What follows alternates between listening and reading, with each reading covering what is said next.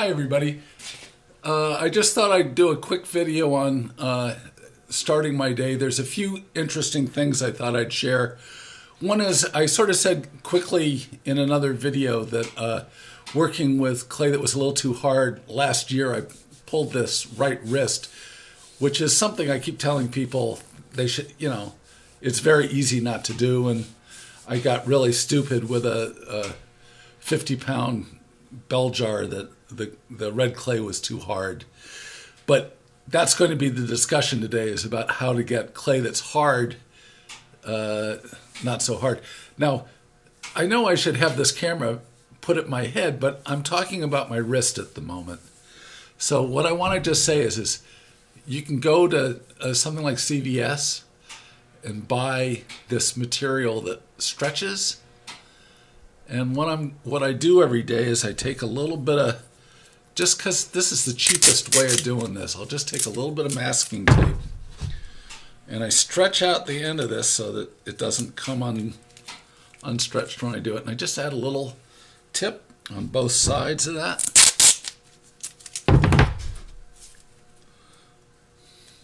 So again, I stretch it and add that. Okay, so just for starting, I'll put it on the top of my wrist and then give it a good pull to get this. It just gives me support in a way on my right wrist that means uh, this particular spot is not working as hard because the thing I'm putting it to is, you know, pretty tough. Okay, so starting on the top again, I'll just take a bit of because masking tape is an inexpensive material, there are lots of other sort of more expensive things you can do that will do this. But this is a very cheap way to do this particular bandage. So when I get right to the end, I'll just break it off in a way that I have the last bond in a place that isn't going to be roughed up by the clay. So now that wrist is ready for some heavier work. So what I want to talk about today, what I want to, hello. So uh, the thing I want to show you guys is that I'm working in red clay. Uh, I'm trying to look at this screen so I know how far away this camera is supposed to be. At any rate, um,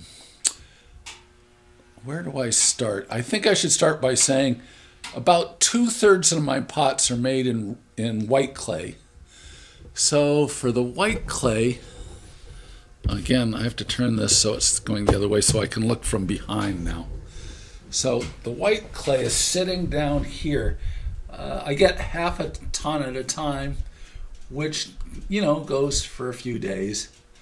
Um, if I'm being leisurely, it's about uh, 250, 300 pounds a day. As an old guy, I'm, you know, slowed down a little bit.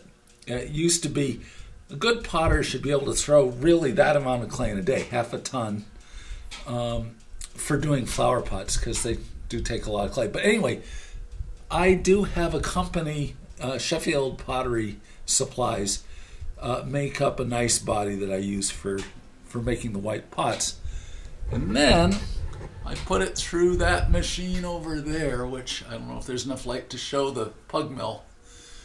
But so the really simple thing is, is if if you have clay that's too hard or too soft from a box, you can put it into a clay mixer. Bluebird made as a system a, a clay mixer in this pug mill. So, but if you don't have a shop going, so I guess what I'm trying to say here is I have two thirds of my sales are with white clay. So I keep the pug mill going in white clay. If I want to get a specialized body, which is what this red clay is, from the nice people at Sheffield, I think I can't remember whether it was four tons, uh, two tons, four thousand pounds. I can't remember, but it was you know a particular quantity. So uh, the way it's worked this year is we've had so much white whiteware that I've been slow to buy this from them, and they're very, very kind. They made up a, a batch of clay for me, and then uh, they only charge me as I buy it. Well, some of these boxes of clay that I that I got here say February 2019. Now, this clay was perfect for throwing in 2019, but today it's kind of hard as a rock. Now, there are lots of cool ways of fixing that.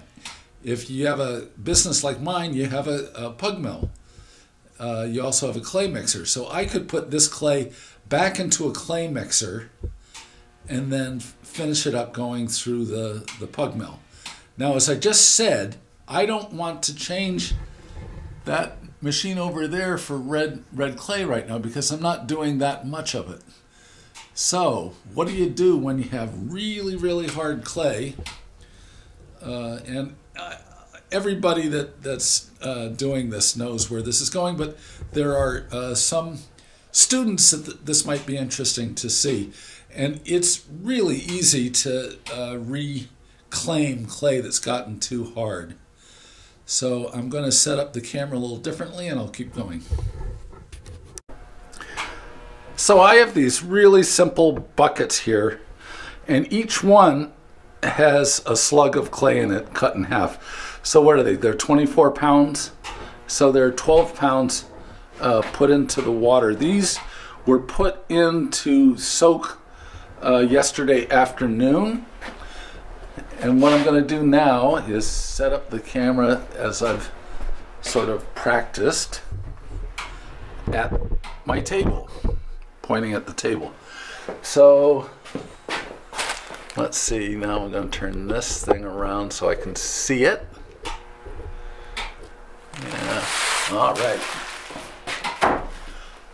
So the trick is to try to keep the table as dry as possible while you're going forward on this. I'm, I am just making sure there's no dry bits on there.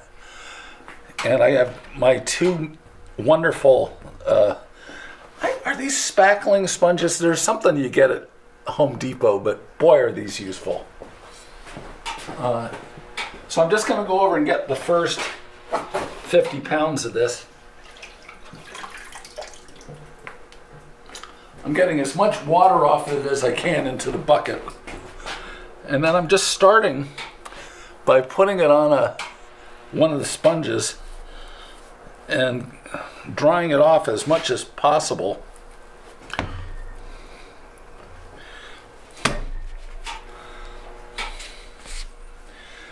So the next size pot I'm making are 12s.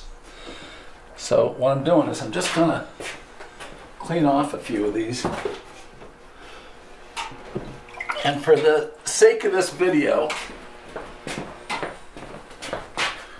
I think I'll just put these aside and put them for uh, for sitting. But I do want you to see how how good this clay is. So this is 12 pounds. I'm just going to cut it in half and see how close to 12. Uh, I mean to six that this is.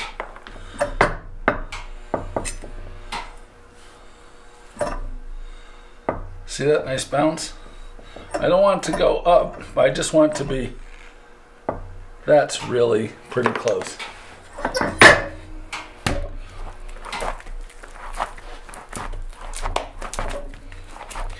So this is a really nice consistency for throwing now.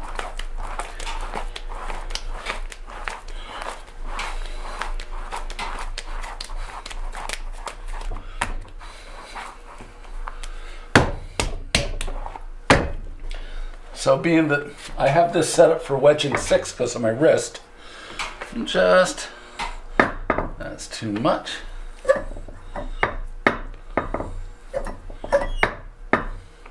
See that nice little bounce? That's what I want it to do is just bounce a little bit.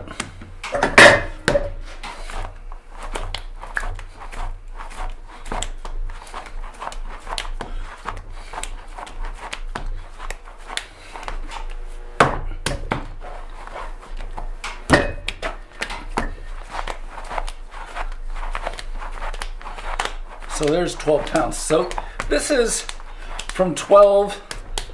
I might put two of these together to make it 24, or you know, uh, 24 or uh, 12 more is.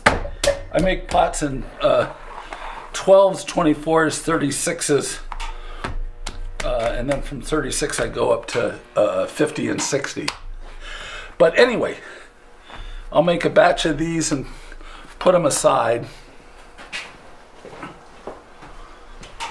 But for now, today's the day I do the bills. So on the whole, right now all I'm going to be doing is getting this clay out of the water. And I don't think you need to see a lot of those happen, but I'll do uh, enough that at least you get the idea how.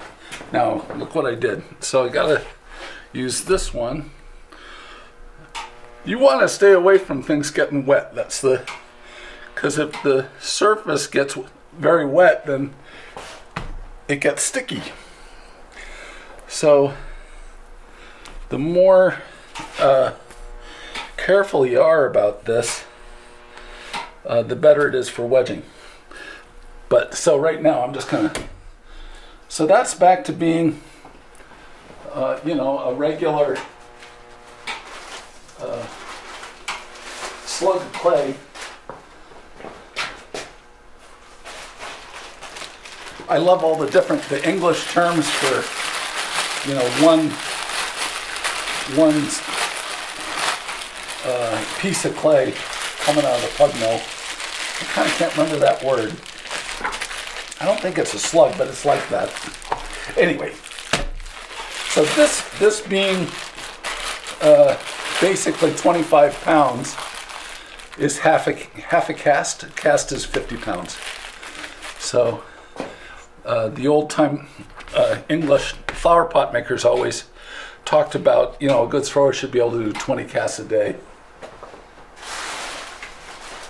In fact, they used to talk about, so a number two pot would be this amount of clay, right?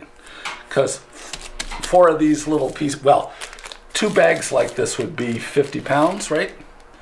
So uh, this pot, you'd need two of these to make a cast.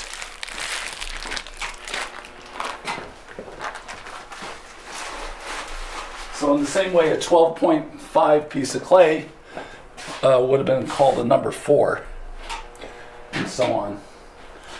Um, let's see, what else? I'll just do that one more time. Oh no, yeah, one more.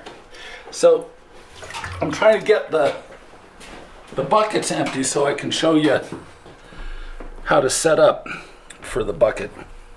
I mean, putting a piece of clay in a bucket isn't that hard, but you notice that the clay is sort of uh, squared off a little bit to to work uh, to fit in that squared off bucket. Let's see.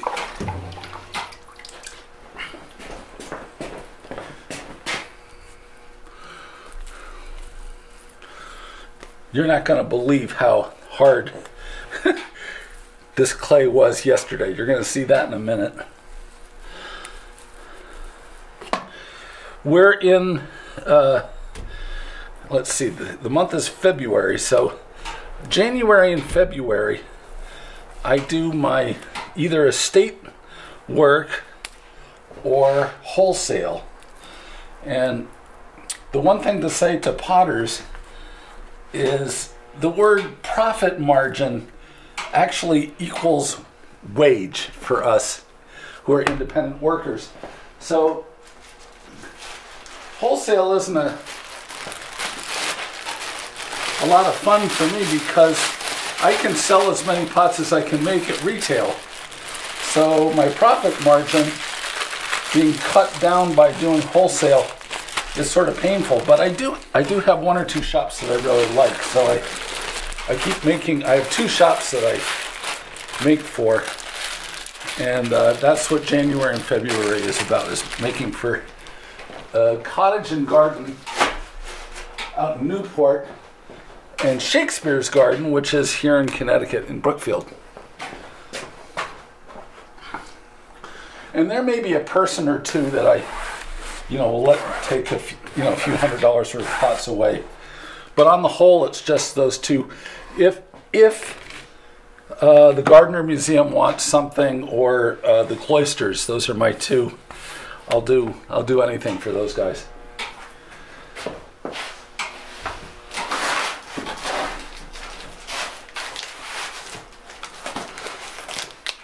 So here's some of that sad clay. Usually I break these open down below, but for the camera I want to open it here. And uh,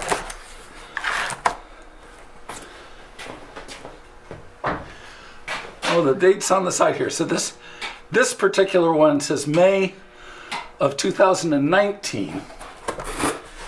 Yeah, well, I guess that's what it, the other ones were February of 19.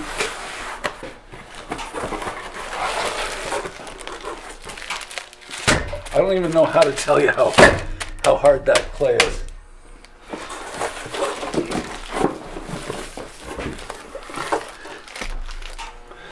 We always take our boxes and use them with the customers as the sales bins. So that's recycled to the customer retail shop. But look at this. You're not going to believe this. Ready? Nothing. A little bit of a flat.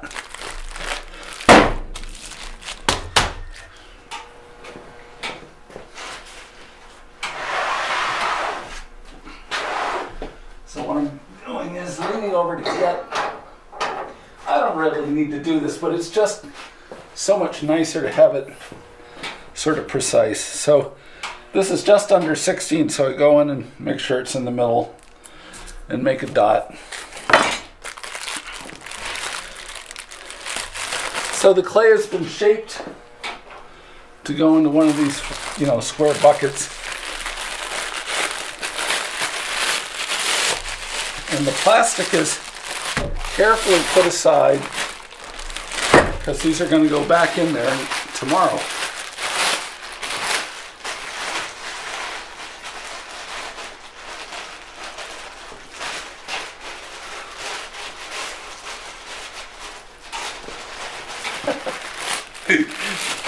See what I mean?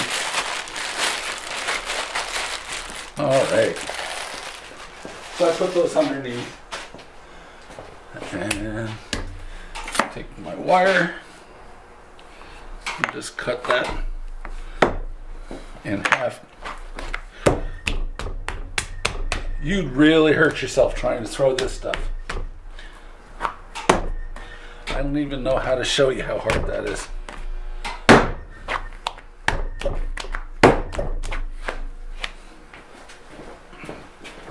So being flattened off like that, these go in uh, very happily into those buckets.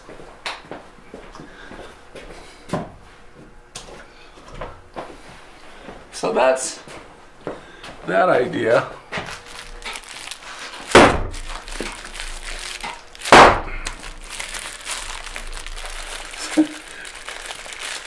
if I did this with, if I hit it like that when I was uh, using clay ready for the wheel, it would have, uh, have been very different. Oh, and I, I like doing that measuring with the plastic on so I don't, don't dirty this so much. I mean, I could eyeball the middle. It, it just is nice to get it. It just saves time later that these are more exact for, especially if you're cutting to six.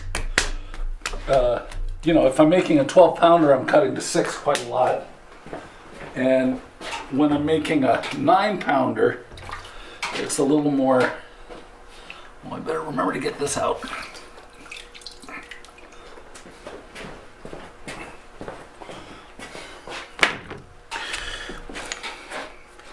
I'm not gonna film doing all of these, but I just since I'm putting this one in that bucket, I want to get that out. So, I'm just going to walk you around the room a little bit and give you the idea of how you prepare for your day. So before I start making the the wares for the day, there's a few chores that happen. Um, how are the furnaces? Uh, I have three Skutt kills going. I'm going to turn this around again so I can see where I am. And bring this up and go for a walk. Okay, so I got three of these little Skutt 10 cubic footers. Uh, outside we're, we're doing a sprung arch kill for cone 10, but for the flower pots, this is just fine. This kill says it's complete and it's at 340, so this is a kill I'm, I'm about to draw. Again, the old term, you know, for taking pots out. And these have been checkering. So this group of pots um, I can't remember how long I checkered yesterday with this, but I'm going to leave it for another two hours, I think. And the same over here. So I got two kills checkering. I'm to have to put the... So and I got some of my wife's little ones here to go around stuff. Um, so I'm to put you guys down for a second and set those kills. So that lid's open. Okay, so we're drawing one furnace and we're checkering to set two others. Okay? We're getting the clay ready. We're, you know, taking it out and putting it in these buckets to get the clay soft enough to use kind of silly to have to do it, but it's just that's where we are. And here's, you know, more of that that's resting after being softened up. Now, some of the throwing yesterday afternoon, these are number nines. This, uh, this is a pot taken from the portrait of Rubens Peale with geranium. It's a pot that's got a, a, a Georgian rim and then this really cool you know, rope rope under the rim. Uh, the portrait's from 1801. But at any rate, we got this fan that I just started early morning to just dry out this top rim enough for fettling. So I guess I'll show you a little bit of that and then uh, we'll be done for the day and I can go and do my uh, bills. just a second. Okay, so what I've just done is I've taken these pots and cut them under. And instead of showing you a hundred of these, I'm just, or you know, well not a hundred, eleven of them. I'm just showing you, I'm going to show you how to do one. And so I have one left over here, and I'm just going to bring this camera over to this spot. does that sort of show the wheel head? There we go. Okay, so first of all, I made up this ring of clay, which means if you have a bat and it's a little warped in one way or another, if it's sitting on this surface, one way around it holds, and the other way around it just spins. So instead of having to think about finding out which way around you have it, I just made a, a donut out of clay so that I can just put these down quickly and not think about them. So this particular batch of pots I made uh, on bats. And the first thing that I've been doing with these is I take a an apple core I think Williams Sonoma I got this. I don't know, but it's just a regular New England apple core. And uh, being that I was trained in Great Britain where it rains a lot, you want a lot of drainage. So I made two holes in the bottom of each of these. Cut it under. Now, if this was a bigger pot, I'll show you how I do this if it's a bigger pot. I'll take this guy and put it on here and then just flip it over after cutting it like that, right? So now I can pull this away and right away save that clay. There are plus and minuses to throwing on bats like this. This is still pretty wet, so I put these away standing up against the wall or some place. I have a spot by my window where I put them. Okay. So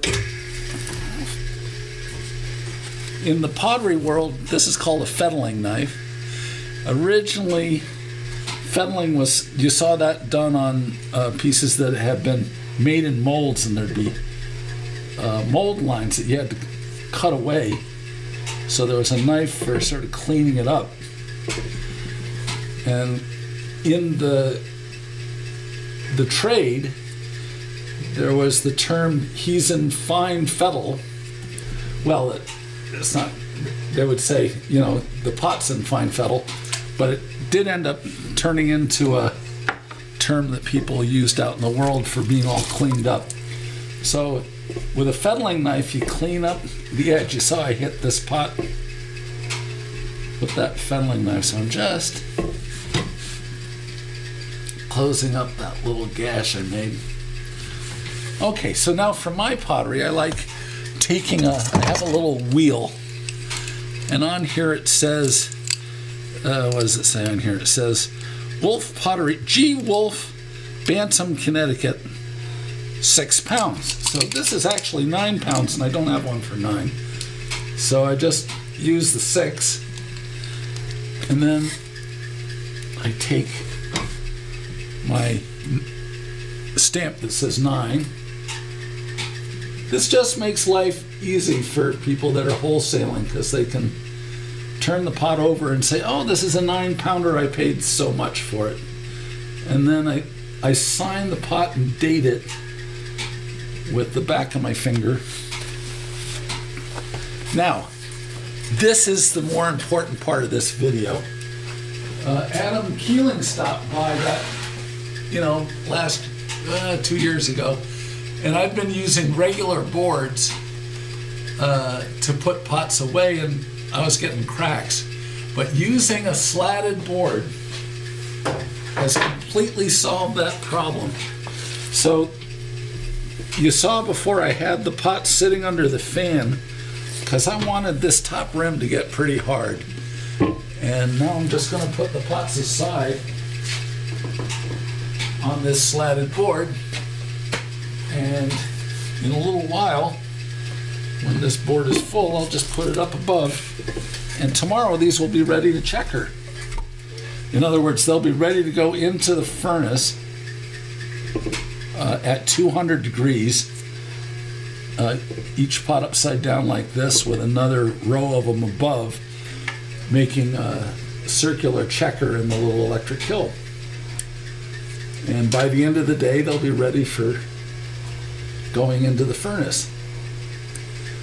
Uh, so it means every day you can be getting one of those little 10 cubic foot kilns uh, ready for another firing with another basic yield. So the only only thing to keep you going is, is you got to make sure that you make enough pots each day to fill the kill day after tomorrow if you want to fire those kills 365 days a year. I I kind of don't ever do that, I have to say. But we do fire a lot. Six goes there. Well, nine goes there, and nine goes there.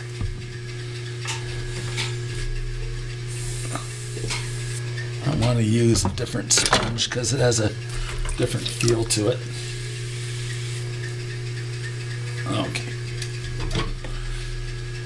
Wolff 2021. Who thought you'd still be alive in 2021? Not me.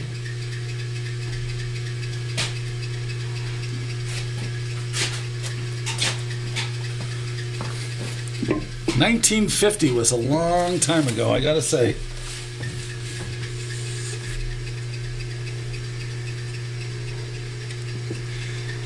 I don't remember 1950. I remember 52 or 53 pretty well. But, and for around here, we all remember 55 because we had a big, uh, huge flood. The Naugatuck River was, what a mess that was. And the same with the Housatonic.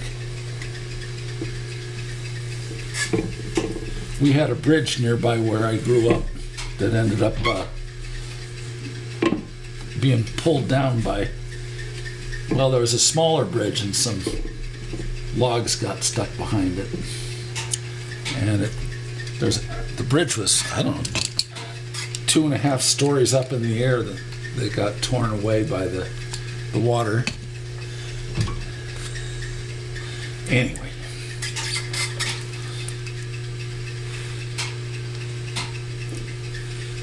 So there's another one. I guess that's enough of this. What do you think? I mean, I have to do the 11 of them, but you don't need to see that.